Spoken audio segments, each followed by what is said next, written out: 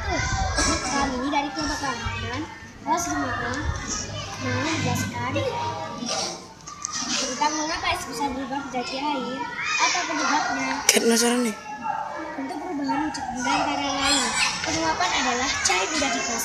Pencairan adalah padat menjadi cair. Pembukaan adalah cair menjadi padat. Pengembunan adalah gas menjadi cair. Penyudim adalah padat menjadi gas. Akhiri coba kita mulai.